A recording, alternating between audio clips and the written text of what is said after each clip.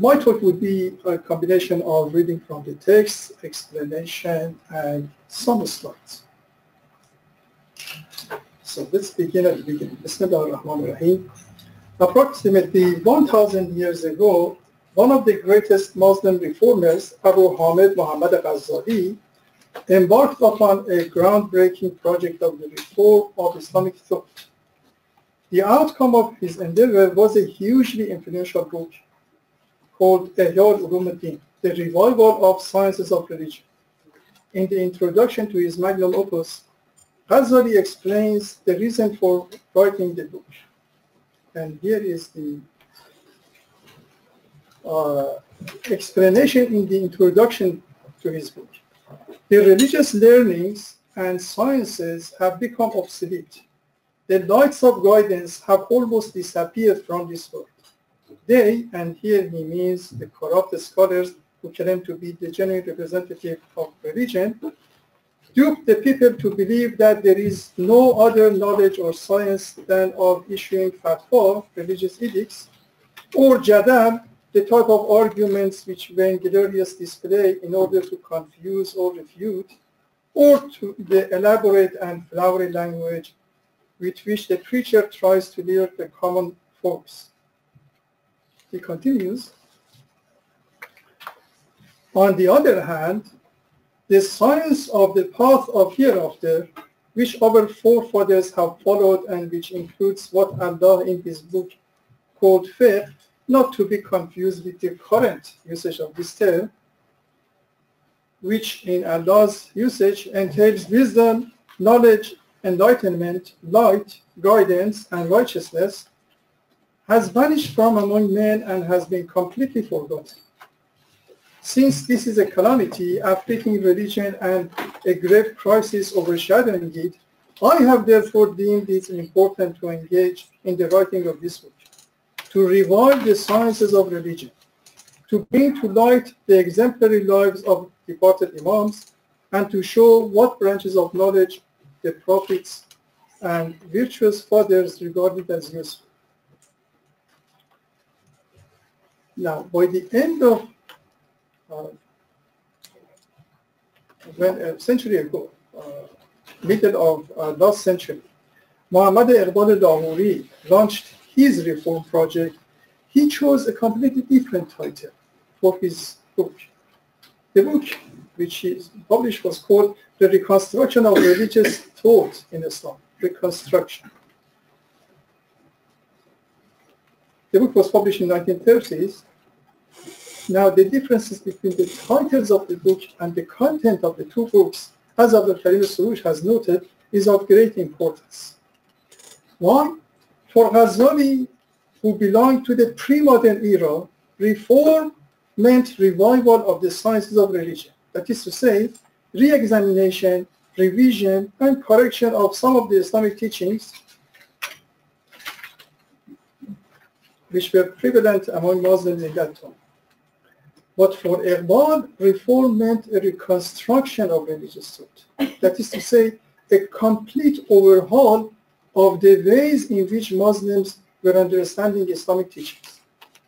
Iqbal had come to the conclusion that Muslims have become so alienated from the real spirit of Islamic teachings that only a radical paradigm change can help them to rediscover the precious treasures they had lost. Iqbal developed his project of reconstruction, I'm sure many of you are familiar with it, by introducing a new philosophical doctrine, namely the philosophy of Khodi.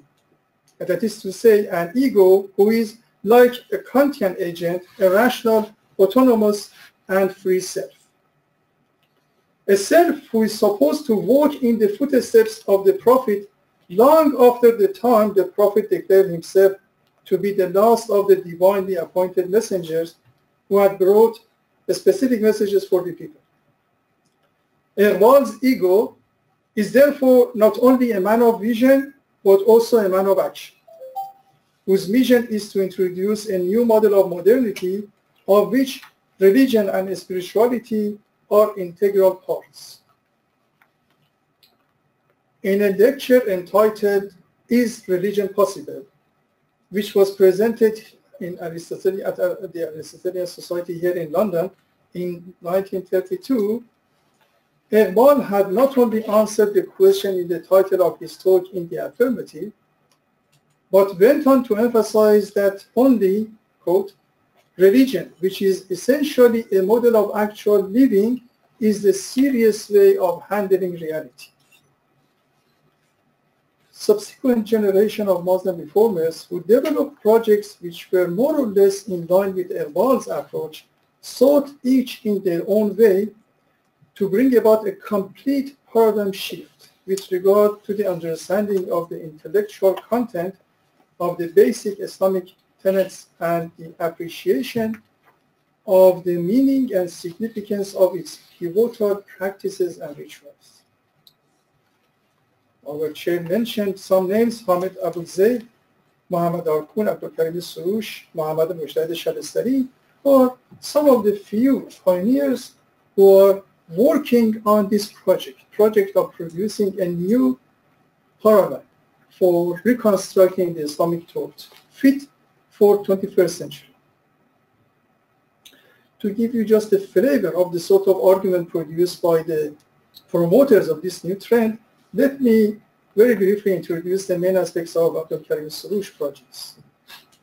Soroush, by introducing theories such as the contraction and expansion of religious interpretation, the expansion of the prophetic experience and the Quran as the outcome of the prophetic visions has tried to challenge the official and orthodox reading of Islam. In his recent Freedom and Democracy in Islam, which was published in 2000, Soroush introduced part of his epistemological project in the following way. Oops, sorry, this is something else. Yeah, this is Religion is in no need of reconstruction and completion. Religious knowledge and insight that is human incomplete, however, is in constant need of reconstruction. Religion is free from cultures and unblemished by the artifacts of human minds. But religious knowledge is, without a shadow of doubt, subject to such influences revivalists are not lawgivers, sharia, but exegetes, sharia. To treat religious knowledge, a branch of human knowledge, as incomplete, impure, insufficient, and culture-bound, to try to mend and darn its wears and tears, is in itself an admirable and hallowed undertaking. It is this exercise that is called religious reform and revival. This trend, of course, not uh, this trend is, of course, not the only trend within the larger movement of reform in Islam, which had started many centuries ago. All other trends can be divided into two general categories, pre-modern and modern trends. And there is at least one important difference between these two categories. So while Ghazali, Ghazali's efforts to revive the sciences of religion, like the efforts of those many other reformers who came even centuries after him, all belong to a pre-modern paradigm and were mostly motivated by internal factors, and by that I mean factors which were based on considerations related to religious teachings and beliefs, what has happened in the world of Islam in the past two and a half centuries under the rubrics of reform, revival, regeneration of Islamic teachings has been mostly due to the encounter of Muslim societies with modernity. Later on in this talk, I shall give a brief account of modernity, or at least of the way I understand this phenomenon. But for now, I should like to provide a list of some of the major challenges which presented to Muslims in the wake of their exposure to modernity. Defeats of Muslim uh, armies in their confrontations with European armies, occupation or annexation of Muslim lands by various European countries, introduction of Western rules, ideas, values, practices, etiquette, and customs to Muslims all presented many difficult and painful questions to the followers of Islam. So for example, they began to uh, ask themselves that if they were, as was stated in the Quran, the best nation ever brought forth to men, then why was it that now they had become subdued by non-Muslims? Why had the Europeans made so much progress in scientific and technological areas and have become powerful and wealthy, while Muslims had remained backward, weak, and poor? What were the root causes of Muslims not being able to live up to the standards expected of them by their religion? How could Muslims overcome their deficiencies and shortcomings and regain their lost glory? Now, even a cursory look at the history of the Muslim societies in the past 250 years reveals that in almost all Muslim countries and communities, reformers from different backgrounds and with different visions and ideas have tried to suggest possible solutions to the crisis befallen on their communities in the wake of their encounter with European nations who were exemplifying modern trends of thought and practices. These earlier responses present a wide range of intellectual outlooks and emotional reactions, from awe and wonder to fear and anxiety, to resentment and rage, to resignation and capitulation, to praise and endorsement, to rivalry and competition, to desire for partnership and cooperation, to determination to fight and resistance, and so on and so forth. However, the majority of the reform projects introduced by Muslim reformers in different Muslim societies were, to a lesser or greater extent, carried out within the intellectual and faith-based frameworks which had many things in common with each other and with Ghazali's revival project. In other words, none, none of these projects, notwithstanding the differences, which can be observed in the strategies and tactics, amounted to a genuine paradigm shift in Muslim societies. So this is my claim. All the other research programs or projects, projects for revival of Islamic thought, which presented by different Muslims in the past 250 years, have remained more or less loyal to a great deal of the old paradigm. What I'm going to discuss with you tonight is the, uh, the very general outline of a new paradigm. And I hope to be able to convince you that something new and radically different is genuinely emerging. In fact, as Hamid Enayat has noted, since for many Muslim reformers, political issues, especially fighting colonialism and introducing political reforms, had priority over other issues, reflection upon the intellectual issues which were affecting Muslim societies did not receive the attention it required.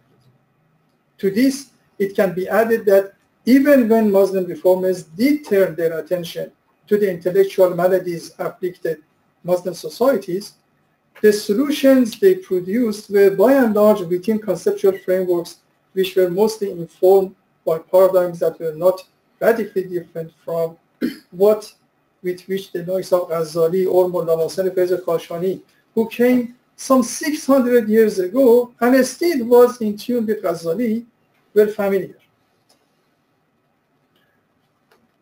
To better explain the point I have in mind, I need to borrow a theoretical notion first introduced by Karl Popper in 1950s and was further developed by his colleague Imre Lakatos in 1970s. Of course, Lakatos used the notion without acknowledgement. The notion in question is research programs. Lakatos suggested that instead of the notion of paradigm introduced by Thomas Kuhn, we better use this notion, the notion of research uh, program. Each research program, program consists of a hardcore which is, if you like, sacrosanct and should not be changed, and two sets of instructions. One, which is a negative set tells us not path to take. And the other one is the positive set. It is called uh, positive heuristic, which tells us which path we should follow in order to further develop our research programs. Now, within each research program, different theories could compete as long as they remain loyal to the hardcore. And this is my point. All the projects for reform, which has been presented by Muslims in the past 250 years, belong to these research programs. They all are loyal to the hardcore. The hardcore with which even Ghazali had many things in common. So they have made produced changes which are mostly in peripheries but not with the hardcore. The new projects, some of uh, those promoters uh, I mentioned, and this is one of, uh, if you like, uh, its manifestation, tries to challenge that very hardcore and produce something of, if you like, a revolutionary approach to understanding Islam.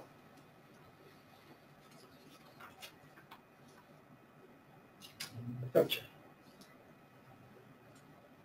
My claim is that many of the models developed by Muslim reformers were parts and parcels of those research programs, whose hardcore has many things in common with pre-modern paradigm. The above programs and projects should be contrasted with Muhammad Iqbal program and those of few other Muslim thinkers who have, in their own ways, further developed approaches which are similar to Iqbal's approach in some important aspects. Iqbal could be regarded as the precursor of a totally new approach to the reform of the Islamic thought, whose main features is to challenge the basic principles of the dominant doctrinal paradigm amongst Muslims.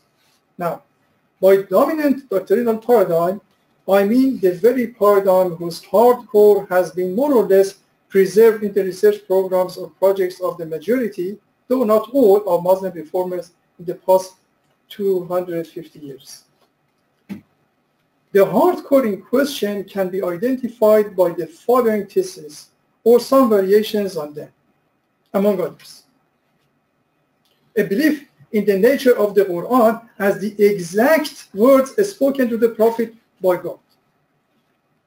A belief in a strict understanding of the infallibility of the Prophet and Imams in the case of Shia Islam. A belief in a privileged status for a reformed faith among other religious sciences. A belief in the inseparability of religion and politics, and a belief in a maximalist understanding of Quranic and Islamic teachings.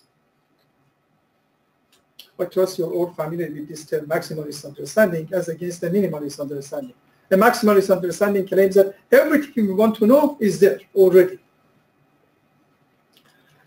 The reconstructionist trend, which goes back, whose genealogy I trace back to Iqbal, differs from all other responses produced by Muslims uh, in reaction to modernity uh, in that it is presenting a complete epistemological paradigm change. That is to say a complete overhaul of the way Muslims could understand the basic tenets of Islam and interpret its main sources. So this is the claim. A new approach to the basic teachings of Islam and basic principles of Islam.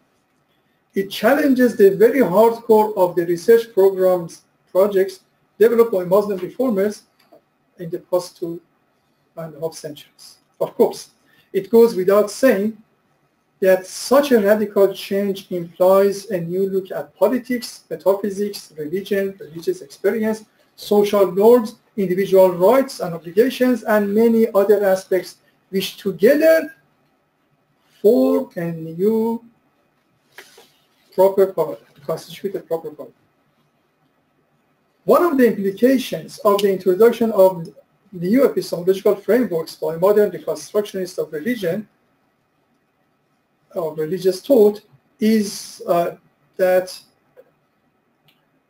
because in their view, this will uh, help to uh, the emergence of a new theology, and since Fiqh and Fuqaha heavily rely upon theological theories of their time, a change, a radical change in theological outlook could lead to a radical change in jurisprudential, jurisprudential practices. So this is another claim. Emergence of a new theology would lead to the emergence of a new look at jurisprudence and fiqh. Islam, Modernity, and the New Millennium, the book which we are discussing uh, some of its parts here, belongs to this same modern discourse of reconstruction. Could you please remind me of the time? Because I haven't kept it, and I have, have got another one hour ahead of us. No, we have 20 minutes. you see, I haven't even reached this fair of my paper. So I have 25. Okay, thank you so much. I have to escape. Uh, so this new approach uh,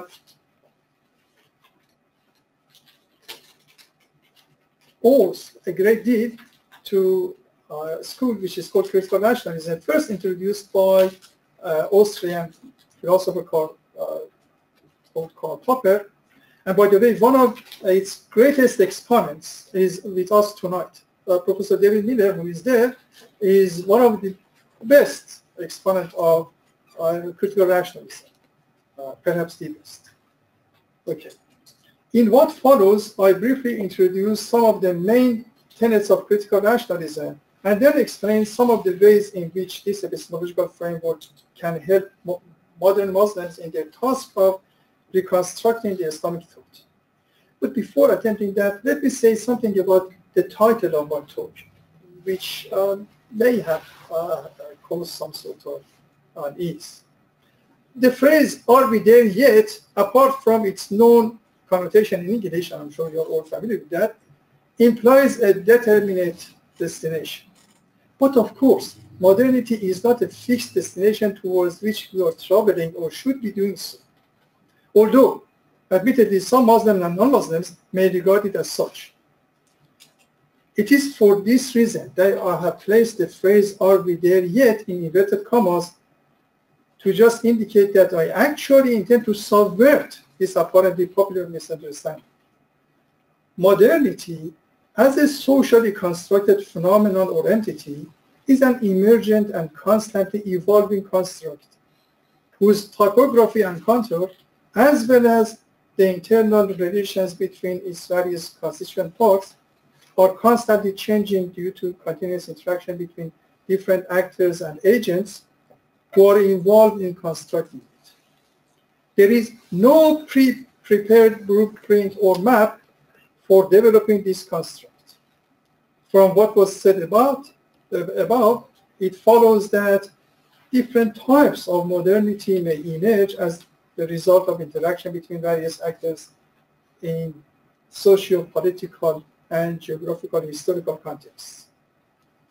Nevertheless, for each of these different versions of modernity to be identified as a version of modernity, they should share something in common. And by that, I neither mean uh, Wittgensteinian family resemblance nor Aristotelian essentialism. What I mean is a number of common properties or functions which belong to all of these models of modernity. And perhaps those properties can be best explained by focusing on some of the mottos of some of the greatest architects of modernity. And here are those mottos. The first is by Immanuel Kant. Have courage to use your own intellect, which implies the importance of agency, autonomy, and freedom of the agent. The second is by Karl Marx. All that was solid melted into air. This implies the collapse of all institutions that manifested the pre-modern order, including the monarchy, the church, and the landholding aristocracy. And the third belongs to Nietzsche. Uh, it's the title of one of his books, Human All Too Human, human. That implies that in modern times, people are on their own and must find out their ways by means of their human abilities. Of course, modernity is also identified by a range of, range of other phenomena, including urbanization, industrialization, and the ever-increasing role of modern sciences and technologies in shaping people's lives, the importance of the rule of law, gender equality, human rights, plurality of belief systems, and the voices which can be heard in the public squares, and many more. One of the attributes of models of modernity, which is worth highlighting, is secularism. I uh, freely acknowledge and admit that secularism is a contested concept. For my part, I define secularism as tantamount to rationalism. And, and this means that use our own reason to deal with whatever problem we are facing it. And because I equate rationalism with secularism, this uh, entails that there are seculars who are anti-religion and there are seculars who are pro-religion and there are seculars who are religion, religious. Okay. Now,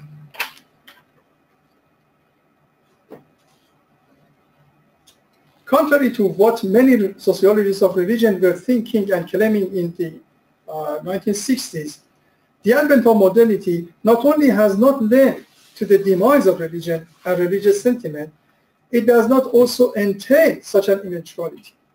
In fact, as Peter Berger and many other sociologists of religion, who once were advocating the thesis of demise of religion, have argued, the advent of modernity, and this is important, the advent of modernity has not resulted uh, in the demise of religion or forcing religion to the uh, private sphere it has resulted in the creation of a secular sphere which now is in dialogue with the religious sphere. So some sort of uh, constant dialogue between two spheres has become possible in the advent of modernity. The reform project. Now, modernity, as Habermas has pointed out, is an unfinished project. It means that there are many potential scenarios and models yet to be unfolded and actualized as various agents continue to interact with each other and with their natural and socially constructed environment. The project which I uh, developed relies on critical rationalism. And let me very briefly tell you something about its main uh, aspects and tenets. So critical rationalism is basically a way of life and a philosophical outlook. It's a quest for knowledge and truth, for emancipation through knowledge and spiritual freedom. And it says the critical attitude seeks undogmatically to subject all attitudes, ideas, institutions, and traditions, along with all uh, so-called knowledge and so-called freedom to critical examination and appraisal. Critical rationalists emphasize the need to recognize everybody with whom one communicates as a potential source of argument and as reasonable information and to take the attitude that I may be wrong and you may be right and by an effort we may get nearer to the truth. Now, as a methodological framework, these are some of the main tenets of this school of thought. There is something, reality, not created by man's ideas, language, or conventions, which is, although mysterious, nevertheless, it is assumed to be comprehensible. Remember, Einstein said the most incomprehensible thing about reality is, is its comprehensibility. So critical rationalists maintain that uh, reality is in principle comprehensible. Secondly, it says that all knowledge claims are conjectural and remain so until they are refuted. This means that human knowledge is neither absolute, nor certain, nor infallible, nor indubitable, and nor justified. This last point is important because this is another thesis of critical rationalism which says justification of all types and forms is impossible. In fact, Professor Miller has discussed this in some of his papers. Uh, there is one simple argument for this. Whatever you present as a justification for something, it itself needs another justification. So at infinite. Now, all observations are theory laden, and there is no such a thing as a brute or naked facts. Knowledge advances in two complementary ways, via negativo and via positivo. By via negativo, what critical rationalism means is all those theories which have been refuted so far. Through their refutation, we have learned something about reality, but in a negative way. We know that whatever shape reality is, it is not the way this refuted theory is telling us about. Via positivo refers to those theories which have remained unrefuted despite our best efforts in order to expose their defects. Morality and ethics, uh, sorry, morality, ethics, and growth of knowledge are closely connected. They go hand in hand. Pluralism, uh, in the sense of diversity of ideas and views and the existence of pluralistic knowledge eco-niches is of great importance to the growth of knowledge. Knowledge claims ought to be objective, and objectivity means public accessibility and public accessibility of claims. Thus, certainty is not an epistemic concept. It belongs to the realm of personal psychology. Okay. Now, how much time I have got? Another 25 minutes? No. 15? 15, all right. Now, critical rationalism and the reconstruction of Islamic thought. The above epistemological approach can be used for the task of understanding and interpreting Islamic teachings in ways which are not only in tune with the sensibilities of modern times, but at the same time truer to the genuine spirit of Islamic ideas and ideals. So this is my claim. Critical rationalism provides Muslims from whatever background with a much more effective way to appreciate their religions and to be at home with modernity, with modern times. The new approach, as can be expected, challenges many of the traditional and orthodox approaches to Islam. For example, in dealing with the Quran, which is the most important Islamic source, it rejects the widely popular view among a large number of Quranic exegetes, whether Shia or Sunni, concerning the method of tafsir al-Quran by Quran, interpretation of the Quran by the Quran. According to this new approach, the method of tafsir al-Quran by Quran is either reduced to a trivial thesis or it refers to an impossible task. From a critical rationalist point of view, to understand the Quran, one should appreciate that the Quran is a text with considerable logical depth. The notion of logical depth is borrowed from the field of informatics and theories of information. Charles Bennett at IBM has defined the notion of logical depth in the following way. Logical depth is the plausible number of computational steps in an object's causal history. A logically deep object, in other words, is one containing internal evidence of having resulted from a long computation or from a dynamical process requiring a long time for a computer to simulate. Now, to help you to better appreciate the importance of this definition, uh, let me give you the example of these two skeletons. One is the picture of a real skeleton, a skeleton of a real man. The other one is a toy skeleton, a wooden skeleton, used for educational purposes. Now, suppose you're a medical doctor and you want to know more about features of human skeleton. Now, this skeleton, assuming that it belongs to someone who has recently passed away and so 2018, has been in the making for, according to the latest theories of cosmology, 13.7 billion years. 13.7 billion years took for the cosmos to create this. So layer by layer by layer, this skeleton has preserved that long history. You scratch each layer, new information would reveal to you.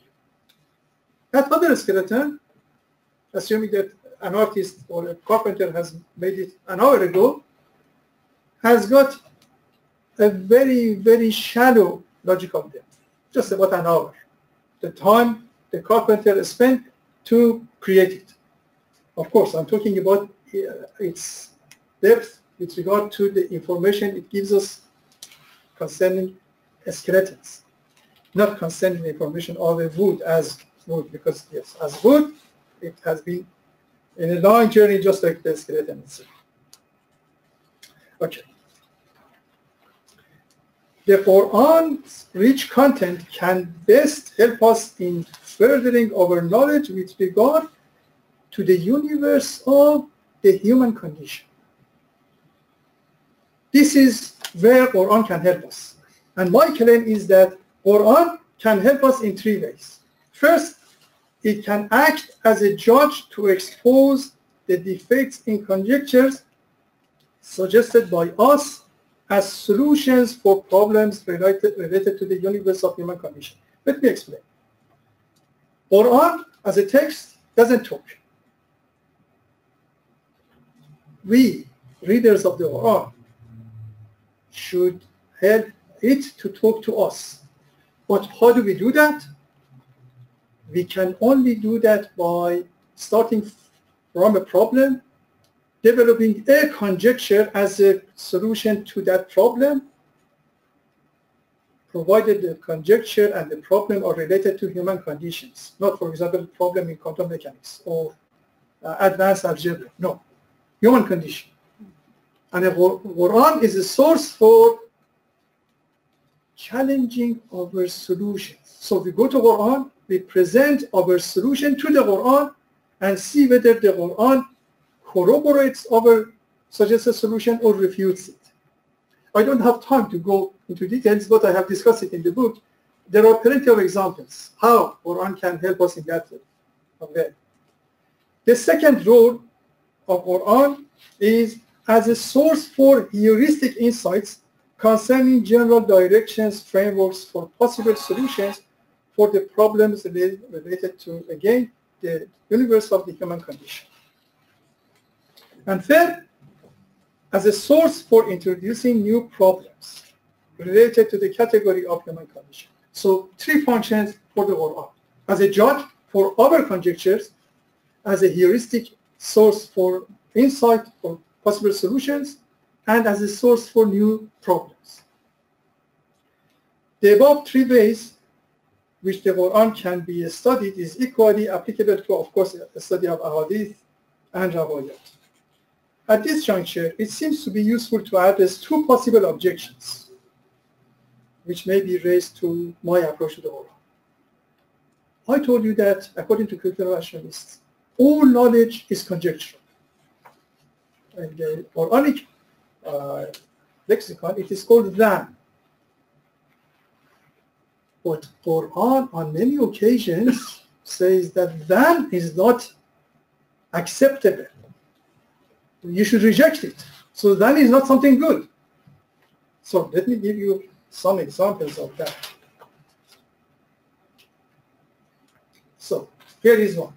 And تطع أكثر من في الأرض يضلوك عن سبيل الله إن يتبعون إلا الظن if thou obeys the most part of those on earth, they will lead thee astray from the path of God. They follow only surmise, merely conjecture. And there are plenty of other uh, verses like this. I don't take you there. Ma. So most of them just follow conjectures. Also, I told you that certainty is not like uh, an epistemological category. It belongs to personal psychology. And yet, Quran has given strong, heavy weight to the notion of yaqeen. You see, here is one. وَعْبُدْ رَبَّكَ حَتَّى يَأْتِيَكَ الْيَقِينَ And worship your Lord until certainty comes to you. And then كلا لو تعلمون علم اليقين لترون الجحيم ثم لترونها عين اليقين. No, indeed, were you to know with knowledge of certainty, you shall surely see her. Again, you shall surely see it with the eye of certainty. So, according to the Quran, straight away rejects my theory. Neither conjecture nor certainty. So what can we do? However,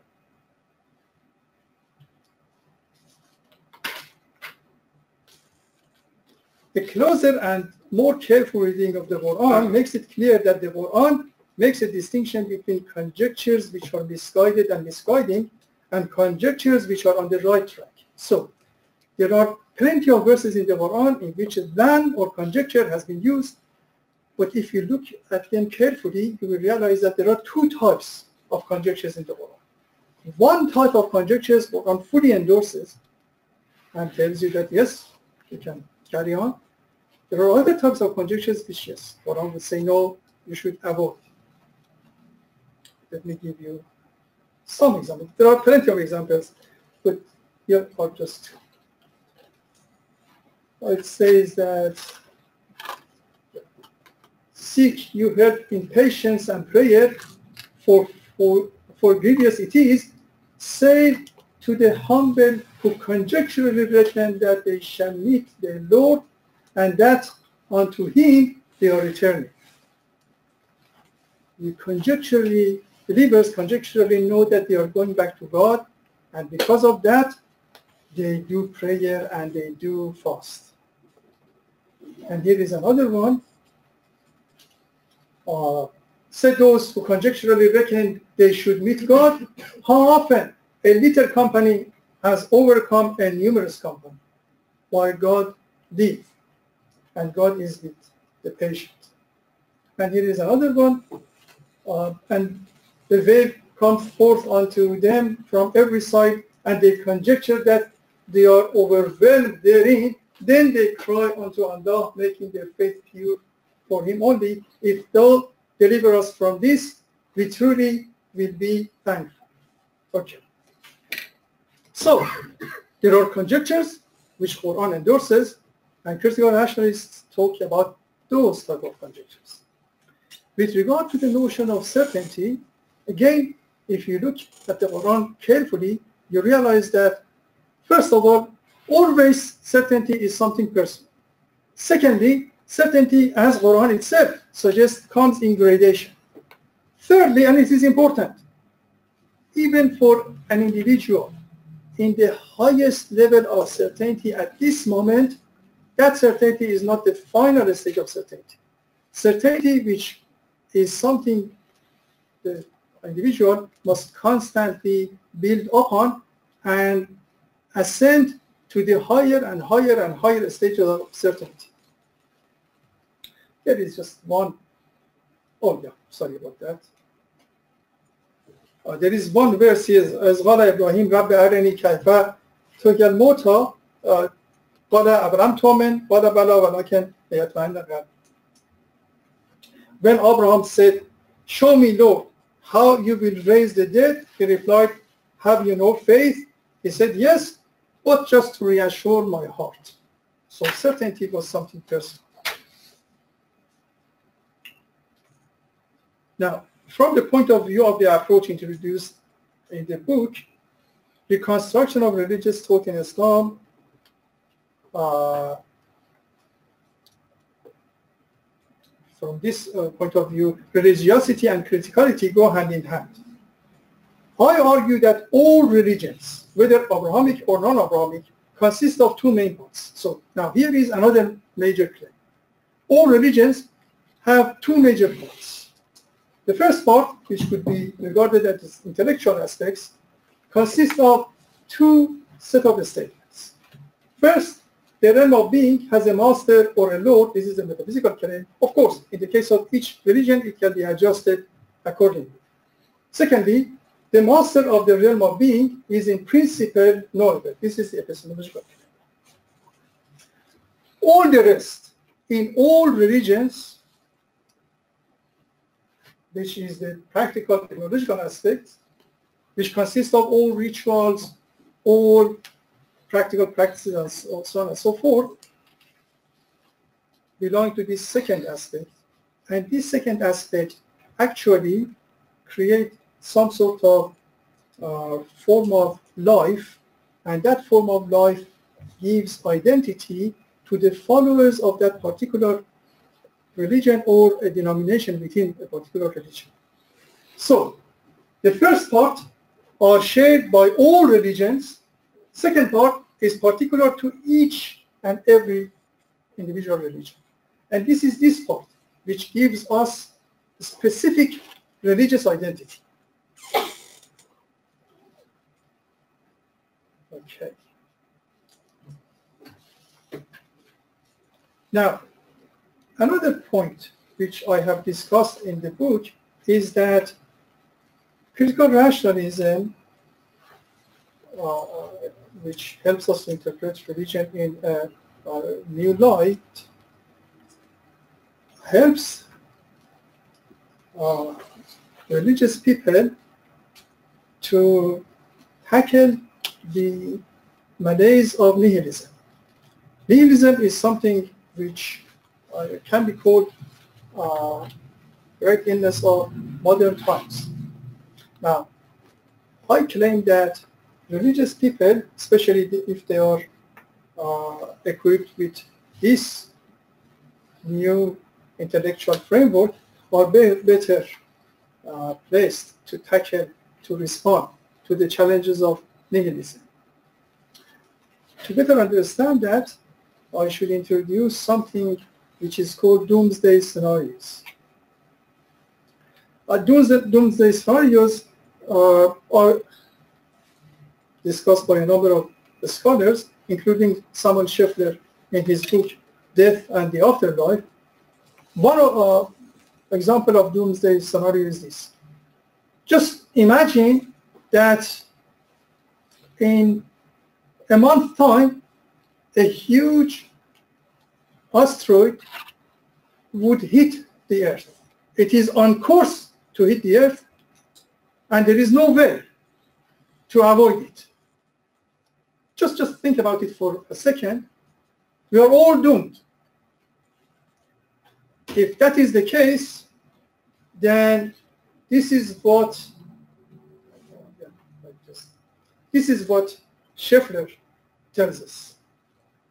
He says that if we were to learn that there was no afterlife, if we were to find ourselves in the doomsday scenario, of the kind I just gave you an example, the conjecture says a wide range of things that now matter to us would no longer do so.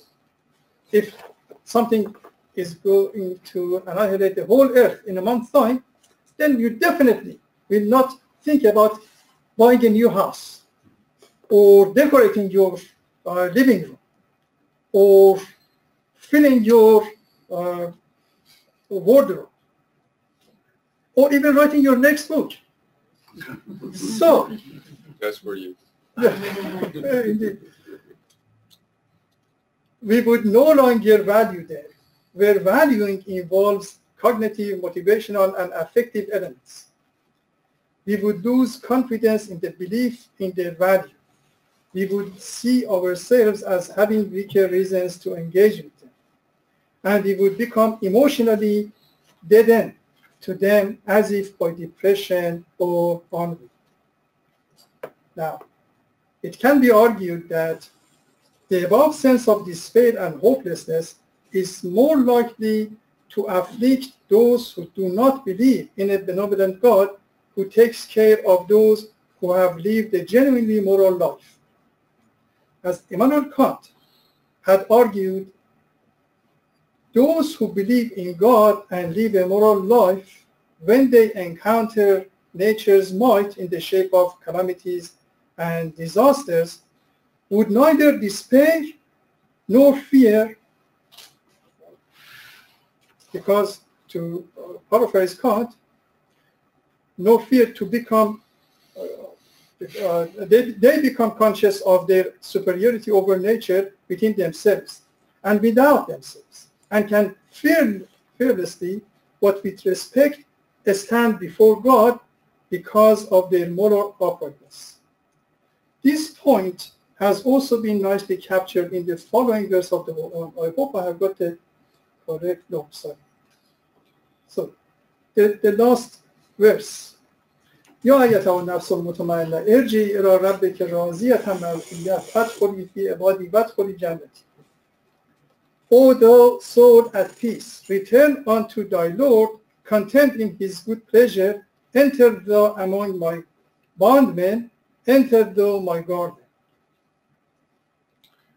The approach developed in the book towards the constructing of, of reconstruction of religious thought in Islam deals with a range of diverse issues, including dangers of literalism, i.e., uh, uh, attaching to the apparent meaning of the Quran or Hadith, for a healthy reconstruction of Islamic thought and a successful reform of Muslim societies, a discussion of main Achilles heels of the traditional schools of Islamic philosophy, clarification of the epistemological status of faith there, for example, I discussed that fiqh, contrary to what fuqaha say, is not a science or knowledge, it's a technology. And I discussed why, what I mean by technology. So fiqh is not a knowledge gardening discipline. There is also a discussion of the root cause of doctrinal violence, whether secular or religion, religious, a critical assessment of possible models of Islamic democracy and Islamic civil society, a critical appraisal of the relationship between religion and science, a defense of pluralism and re rejection of exclusivist approaches, especially amongst followers of the Abrahamic religions, a critique of rampant relativism, whether epistemological or moral, and many more. However, admittedly, the above themes just address some of the issues and challenges which are faced by Muslims in modern times. My hope and plan is to follow up, provided that, that asteroid is not coming, to follow up the present volume with subsequent publications which aim at tackling a range of other pressing challenges. Thank you for your patience.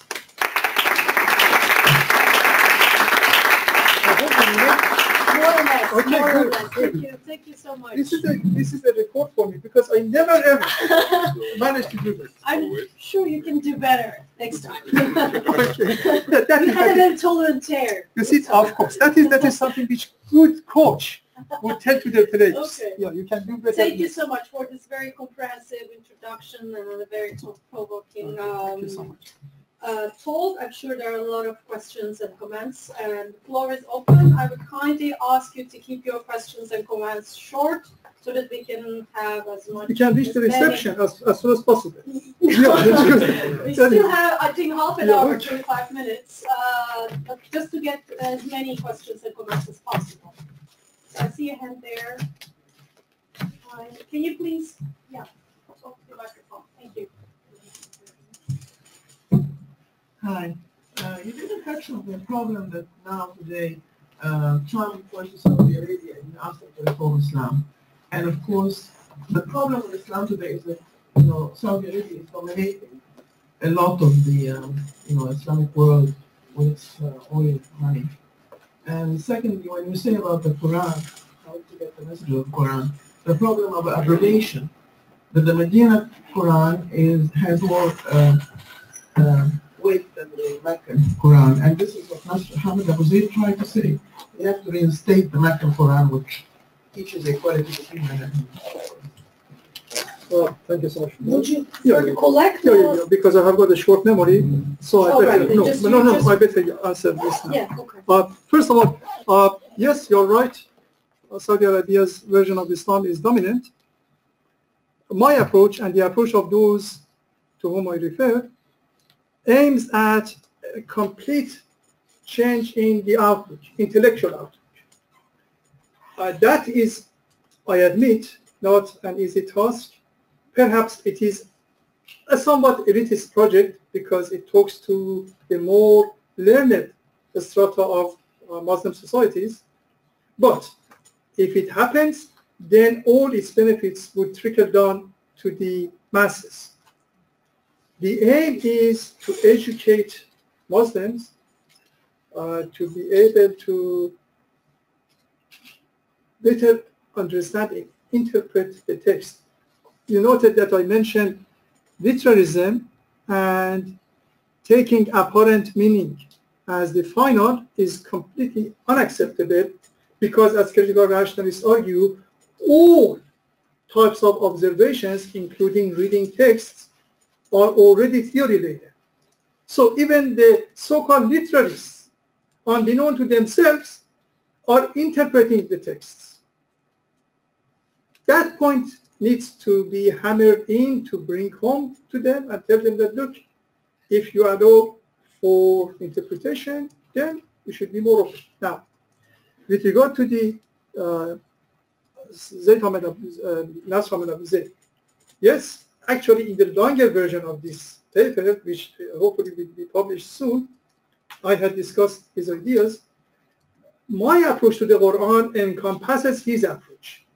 So my approach is neutral with regard to, you know, remember Zayd uh, talks about Quran not being just naf, just not a text. It is an ongoing, it was an ongoing dialogue between God and his messenger. The text we have got is a fossilized version of that dialogue. And he tries to bring to our attention that if we look at the Quran as a dialogue, our viewpoint would change and new meanings would be revealed to us. That I entirely agree with him.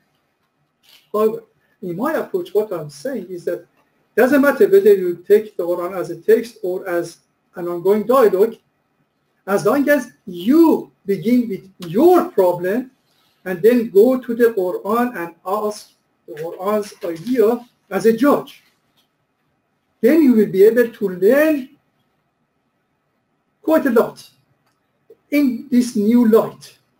So that is a completely new uh, approach to the Quran, but you should read the text and see uh, details of the argument and the examples which I have given there. We have another question here. I was very intrigued when you uh, used the word expression, get away from hardcore principles. When you mentioned something about infallibility, uh, other thing was out of my depth, you see, but I would like you to explain that. Thank you so much for giving me the chance to explain myself uh, before being condemned as a non-believer. Now, many traditional Muslims, I can give you even great names. I'm sure you're familiar with uh, the great exegete of the Quran, uh, Allama Tabatabai, which is Al-Mizan, they define infallibility of the Prophet and Imams in a very, very strict sense. They maintain that they are infallible in all aspects of life. And they are infallible by birth. So that is a God-given endowment to them which sets them apart from the rest. That I completely disagree with, and I explain to you why. I mentioned Iqbal. Other reconstructionists also have uh, noted this point. The Prophet ﷺ is a role model for us. But if, according to those interpretations, he has come to this world which has right from the beginning sets him apart from me, then what sort of role model is he? one thing which I agree. The Prophet is infallible in receiving the message and imparting it to us. That I agree. In all other aspects of his life, he was just like us. However, as a highly moral agent, a highly moral agent, he acquired a high degree of infallibility with regard to things which ordinary people make mistakes of judgment. For Prophet, right and wrong, good and bad was crystal clear because he had practiced it all his life. For me, as a novice who doesn't know what is right and what is wrong, mistake is very, very, very possible, probable. For him, because he has trained himself more than 40 years. You know, 40 years it took for him to become capable of receiving the message. By then, he had trained himself to the extent that he would he was able to discern between right and wrong and many other things. So that is that is what I mean by challenging those conceptions, not the hardcore themselves, the conceptions about the hardcore. What about other hardcore principles? Whatever whatever hardcore you suggest, there are misconceptions about it. Think about what ISIS is telling us about the main tenets of Islam. I completely disagree with their interpretation. So the hardcores, no, of course the hard the hardcore is there. People's interpretation of the hardcore should be challenged. And this is what I'm challenging in my book.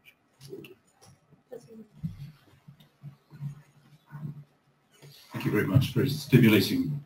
Let's read your book. I hope so. I'm not sure. If I can quote it. Um, I'm just wondering what you know what what depth of your how far your commitment to critical re- critical rationalism goes. Very much. Okay. You're very well, deep. Well, it doesn't go. It seems to me from what you just said to the question of the authority of the Quran. That sounds pretty dogmatic to me.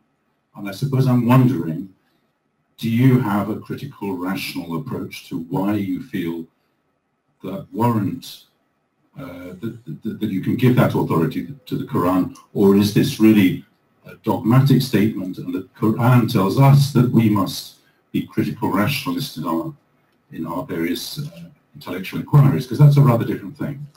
Oh, Does it go all the way, or is it, is it just a kind of is God's will for us. Thank you so much for that interesting question, which is like a banana skin uh, tailor-made to just a sleep.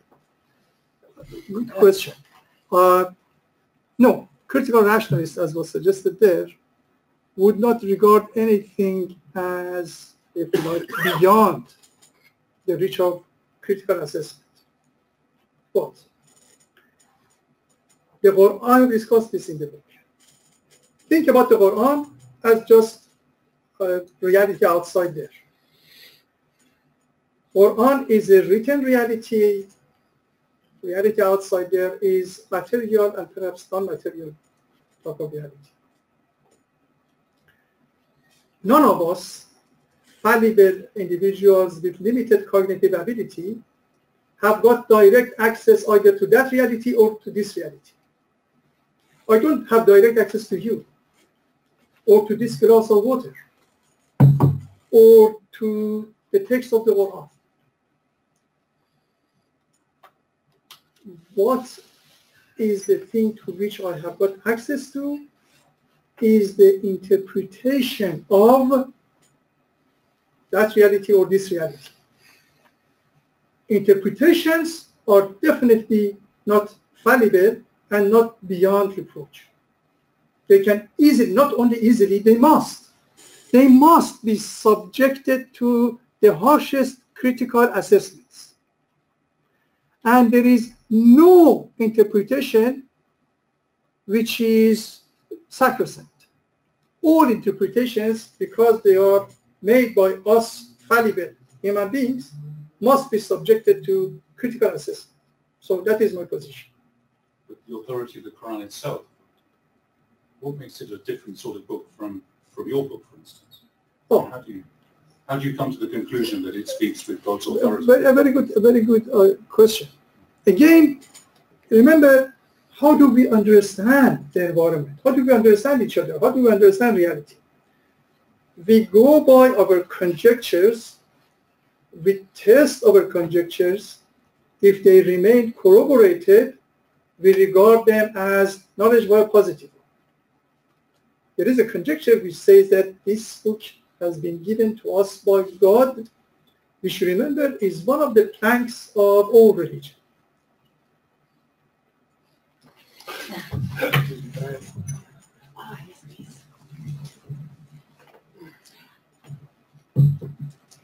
Um, I have a problem with the use of the term modernism.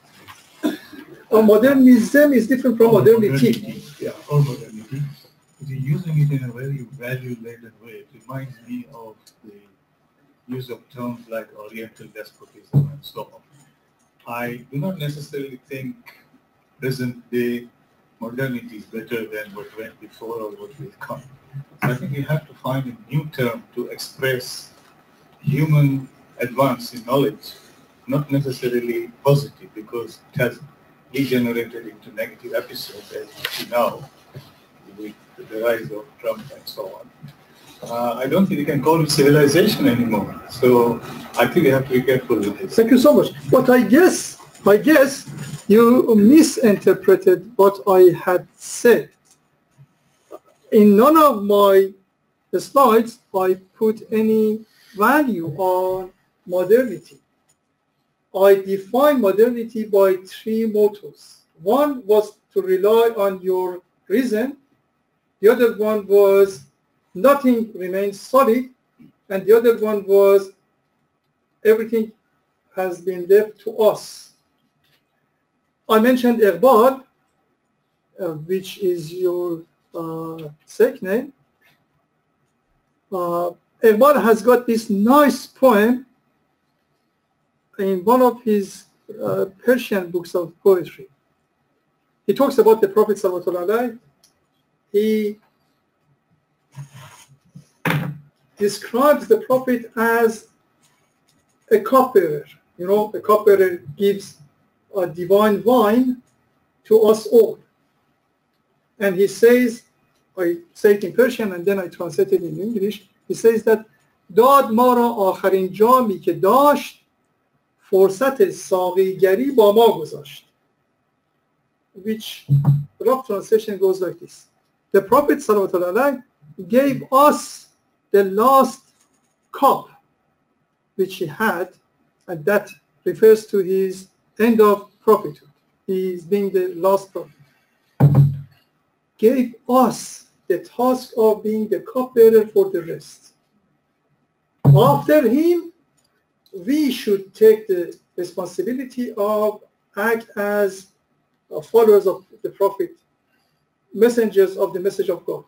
Now, this is happening when you become, as Kant has suggested, aware of your power of reason and come out of the yoke of tutelage.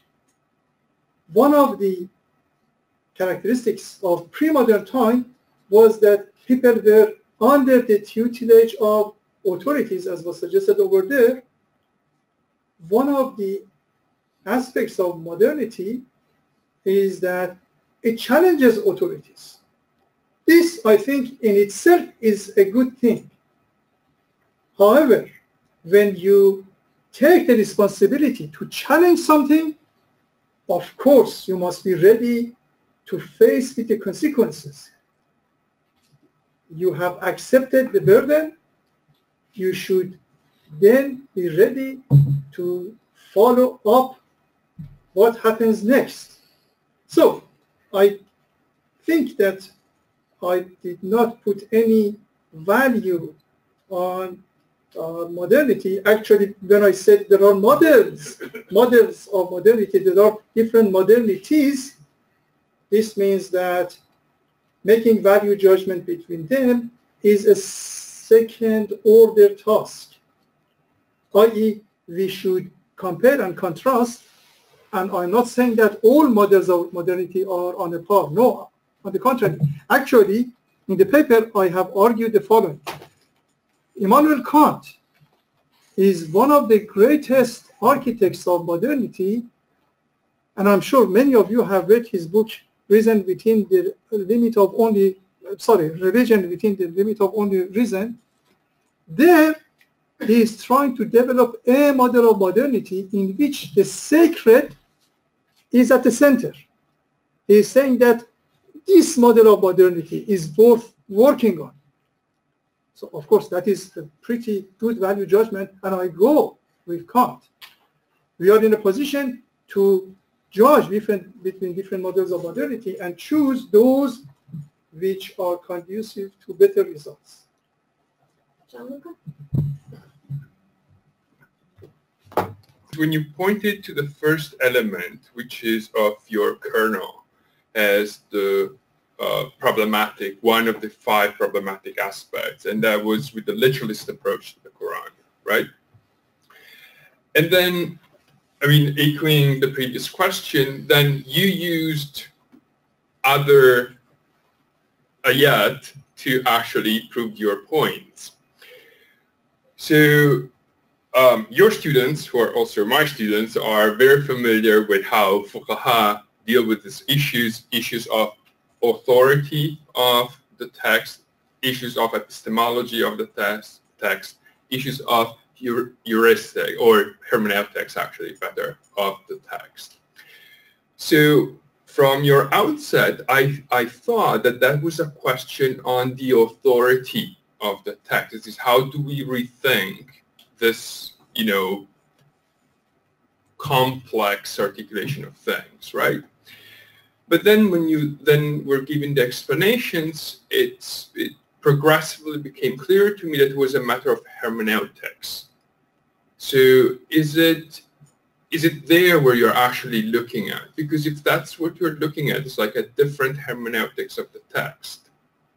Then lawyers would tell you that lawyers have actually gone at extreme length to offer different interpretations of the text and stretch it here and there to come up with different solutions. But there are certain things that that kind of um, engineering or technology, as you call it, does not go beyond. So if you restrict yourself, so you, you challenge the Qaha on their the technological use of their, their knowledge. But if you yourself are doing the same thing, just offering a different uh, um, hermeneutics of the text, I don't, st- I, don't, I would still, you know, there on the pumpkin. Many thanks for that very intelligent, important question. And again, thank you for giving me the chance to clarify my position. With all due, respect to lawyers and for uh, uh, please allow me to tell you that I, not you of course, because you're teaching, lawyers and fuqaha are not men of knowledge. They are engineers.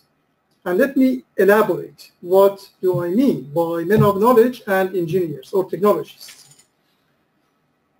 Knowledge and technology are completely distinct entities, both man-made, but two different products of men. Knowledge has got just one aim and only one aim. It aims at telling us what is out there in reality. That is the only aim of knowledge. Technologies of all shapes and sorts and types have two main functions. So knowledge respond to our cognitive need and on the cognitive need. We want to know what is out there. Technologies on the one hand respond to our non-cognitive need. For example, the very chair you are sitting on is a product of technology and respond to a non-cognitive need of yours. You want to be comfortable while you are in this company. The glass of water I'm using is another product of technology, respond to another non-cognitive need of mine, quenching my thirst.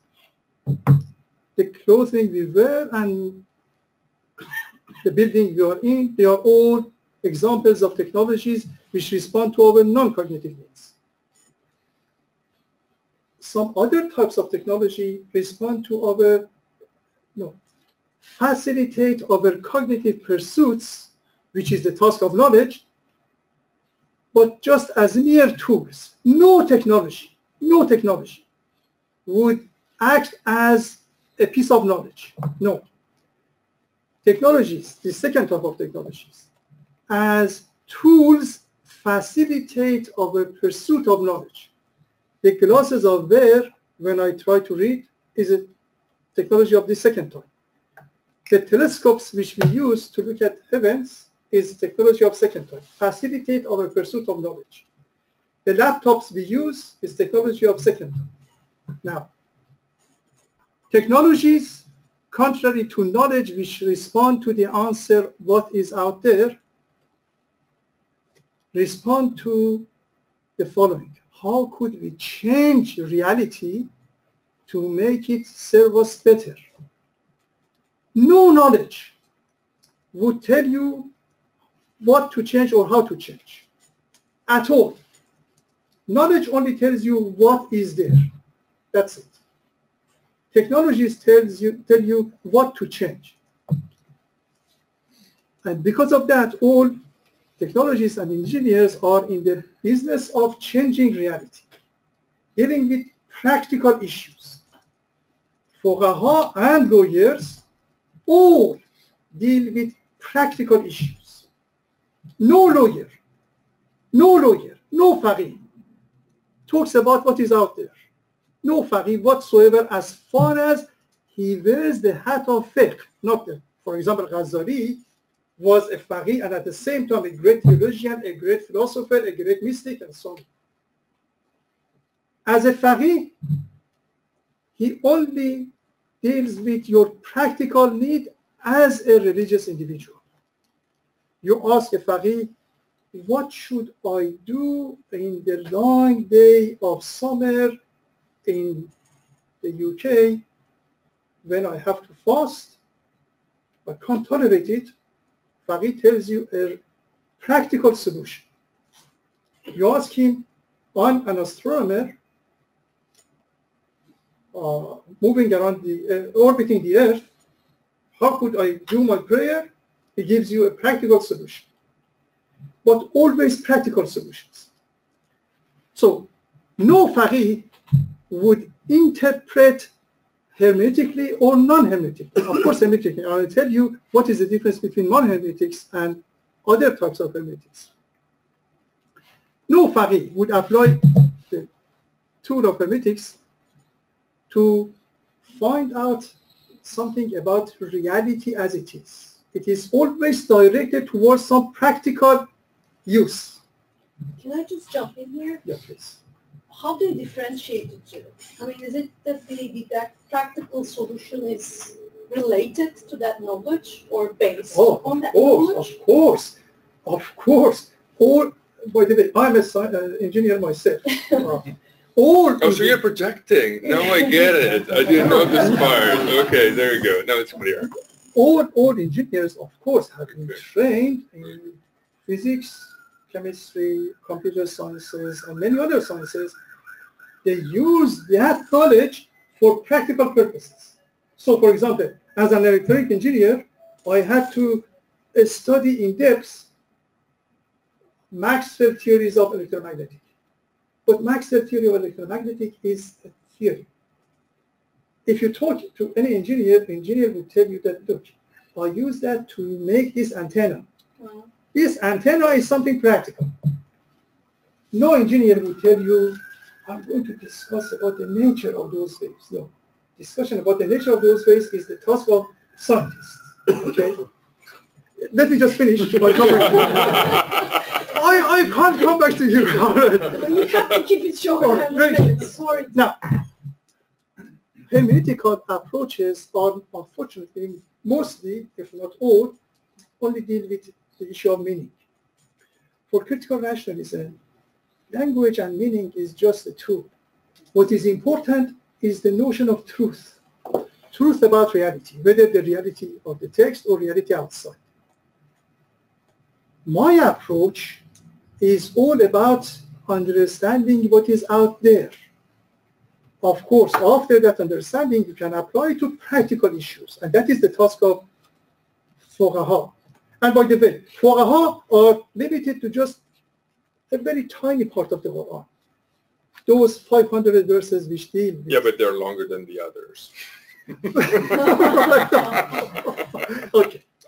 Oh, we will I'm discuss it later. we have only time for one question. Yes, this is Professor Miller. give the and- chance to Professor Miller while using my position as the chair. But then we don't ask our questions I'm because we just will not going to tell you something that I thought you know. I, I simply do not agree with you that, that scientific knowledge, or knowledge really is what is used in technology in the way that you. you No, I agree. suggest. No, no, no. Thank you so much for But- that. But you do not design an antenna using knowledge of physics. True. The, the scientific knowledge is used to eliminate mistaken designs, not to produce new designs. So one has to take the critical approach here into technology and realize that knowledge does play a role in technology, but only a negative one. Thank you so much. I thought, Let- I thought, I told you this a hundred times. Actually, yeah, actually, I have learned, Obviously, you don't take me as an authority. no, thank you. Actually, I have learned it from you. Yes, let me just very briefly. uh, Yes. Yes, uh, Professor Miller is quite right. Uh, knowledge only tells us the limits of our practical action. So, for example, the law of conservation only tells us we cannot make a perpetual um, working machine. And the law of entropy tells us that no machine can have an efficiency which goes 100%. It will always uh, remain below that. Yes, scientific knowledge only tells us the limits of our practical abilities. And scientists, yes, by the way, do not use that directly, they use their intuition. The knowledge is there in order for them not to make a mistake. Yes, thank you for correction. So thank you so much. This was really a lively Q&A session. Uh, please join me thanking Professor Paya once again Thank for so the much. talk and